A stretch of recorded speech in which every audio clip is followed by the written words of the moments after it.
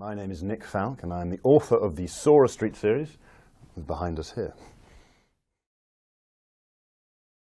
Well, it's based on a very normal, very quiet, and very standard leafy little suburban Australian street where there just happens to be a time portal connecting back to the Cretaceous period.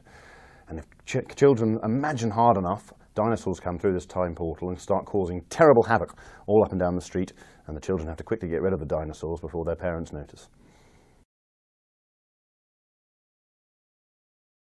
My inspiration for writing Saurus Street was my own son, in that from the age of four, he was very strict with me. Whenever we went for walks, he insisted I make him up a new story.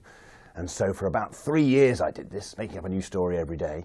And we built a whole world around Saurus Street with all its characters and all the different dinosaurs and the crazy teacher at the school.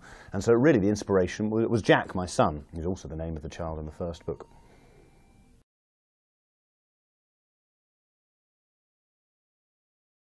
Uh, because it's terribly silly and tremendous fun with lots of crazy characters and wonderful illustrations. And I think the whole joy of it is you learn to get better at reading without even noticing you're reading. My favourite dinosaur has always been the Pachycephalosaurus, which is a dinosaur with a bony head that if anyone made him angry, we'd headbutt them. And I used to go around doing this at school as well. But I got in more trouble than the Pachycephalosaurus did, which is very unfair.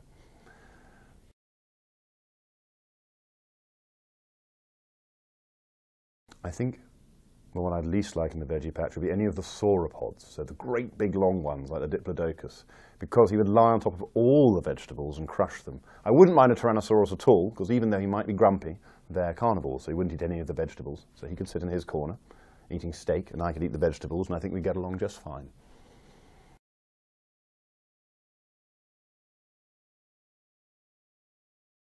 Well, it's not really an excuse that I got in a lot of trouble. It was true. So I lived in the attic room. I left the windows open, and the squirrels did steal my homework. I've, I maintain to this day, even though my English teacher claims I'm lying, it's true. They must have come in and taken it. It was there on my desk. The window is open. There's a tree with squirrels in. How else do you explain it? The squirrels did steal my homework quite often.